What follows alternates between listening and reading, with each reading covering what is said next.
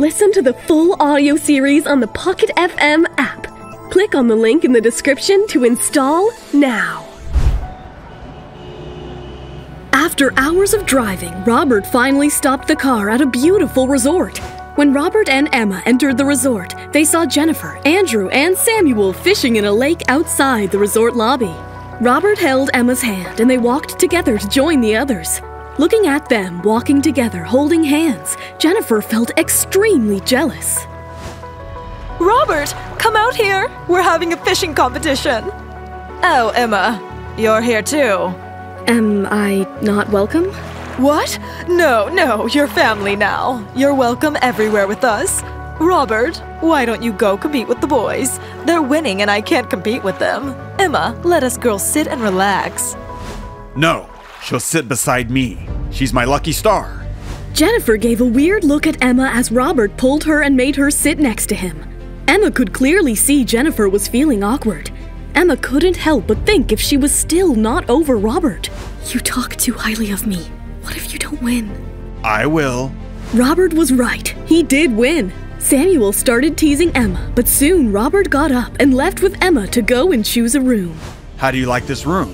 It's pretty. The scenery is out of the world. Great choice. We'll take this room then. We? Can't we take two separate rooms?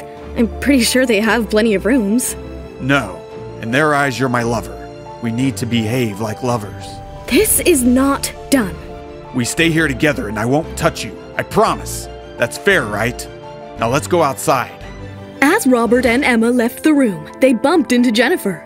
I hope you've chosen your room. And, um, Robert, can I talk to you privately? Emma smiled and walked away from them, but Robert didn't like it. What is it? Be quick. I don't want to keep my girlfriend waiting. Are you serious with the girl? It hurts me to see you with. Don't start again. We're past that now.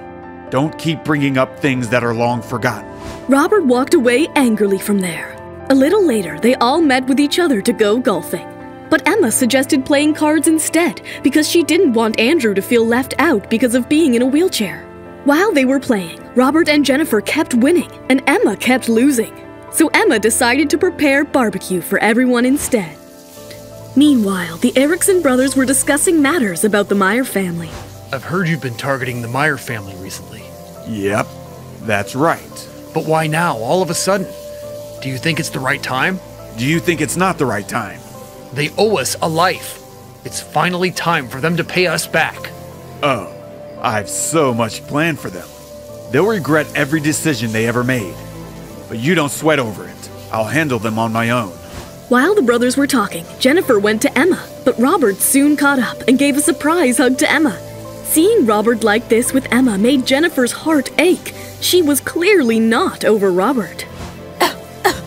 The barbecue smoke is not good. Robert, it's going to spoil Emma's skin. It's not a problem. I've had worse. Jennifer, why don't you go and sit? I'm here with Emma now. I'll help her. No, no, it's all good. You go and sit. I'll stay here with her. Emma could feel the awkwardness between them, and it made her feel uncomfortable. How about you both stay here and I go and sit? Emma's words made Jennifer awkward, and she left without uttering a word. Robert grabbed a chair and sat on the chair. He noticed Jennifer staring at them, so he pulled Emma and made her sit on his lap. In the future, don't suggest any games if you're not good at it. Why? What's wrong with that? Why would you suggest a game you don't know how to play? It's stupid and embarrassing. You ended up losing the game. So what? It's just a game. well, you are right. Robert and Emma were laughing when the other three noticed them. Samuel said that he had never seen Robert so happy, and Emma and Robert were perfect for each other. Andrew looked at Jennifer, who was not having the best of moments, but still managed to smile. You're right. They look like a high school couple. That's right. Well, I'm tired now and need a nap. Jennifer, will you take me to the room? Are you tired? Would you like to rest? Yes, please. As Emma and Robert entered the bedroom, Emma quickly took the couch, but Robert stood in front of her like a wall. What are you doing? You can take the bed. I'll sleep here. The bed is too big, Emma. I can't and I won't sleep on the bed alone. Come and sleep with me. I won't touch you. Or I'll sleep here on the couch with you. Without arguing with Robert, Emma went to bed. Emma thought that she would have a hard time falling asleep, but by the time she woke up, it was already evening. When she went out, she found Andrew and Robert playing chess by the lake. Jennifer and Samuel were also sitting and enjoying themselves. Miss Green, you're up. Come and sit with me. Thank you, Jennifer. Um, Robert, why didn't you wake me up? I didn't want to disturb you. You were exhausted. Now that you're up, let's all go have dinner and call it a night.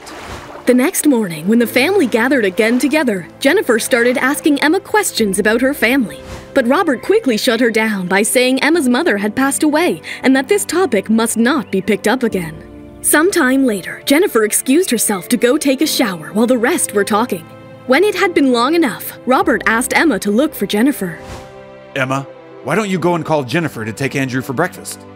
Emma left, and when she entered Jennifer's room and called out for her, there was no answer. Emma went in to check the washroom and saw the ground covered with rose petals, a bottle of wine, and Jennifer sleeping in the bathtub. Emma got flashbacks from the time her mother died, in a bathtub, and couldn't help but scream. Jennifer woke up in a shock. Miss Green, are you okay? Miss Green? Robert was already in the corridor and heard Emma scream. He ran to her and took Emma in his arms. Jennifer saw how Robert cared about Emma, and it burned her heart. Robert never showed so much care and love for her. Robert then took Emma to their room. Emma, will you tell me what happened? Emma couldn't say anything. Do you want to be alone? Should I go out for some time? Robert looked into Emma's eyes and he could see fear. Robert lay on the bed next to her. Don't worry. I'll be here with you as long as you want me to. Trust me. No one can hurt you now that I am here. Robert held Emma tightly and hugged her until she fell asleep. You're up. How are you feeling? Emma just gave a faint smile, trying to look okay, and went to the washroom. Later, both Robert and Emma went to have their meal with the others. Miss Green, I'm so glad to see that you're okay. Please come and sit. I'm so sorry. Did I scare you earlier? I didn't mean to. Don't apologize. Did you think I was dead? You screamed so loudly. I. I.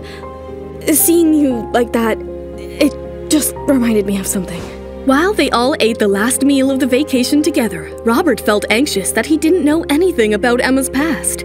After the vacation, Emma went back to her daily life. Emma was at the office when suddenly she got a call from Jack. It's been so long. Where are you these days, little sister? Work. Where else could I be? I've got a reservation for us tonight, and I won't take no for an answer. So, see you at our usual place tonight. Before Emma could answer, Jack cut the call. Emma informed Robert that she wouldn't be having dinner with him because Jack had invited her. Robert wasn't pleased, but he had no control over what Emma decided to do. I know you won't take it, but please consider it a gift from your older brother. I bought a house near the university for you. You can pay me back in the future, but please accept it. Emma was shocked and didn't know what to do. A house was such a huge thing. Would she accept it? How will the Meyer family react when they find out? And what about Robert, who is already trying to find the missing pieces of the puzzle? To know what happens next. Hi, guys. Emma here. Listen to full episodes of Cupid's Curse exclusively on the Pocket FM app. Click the link in the description or simply search Pocket FM on Play Store or App Store to install now.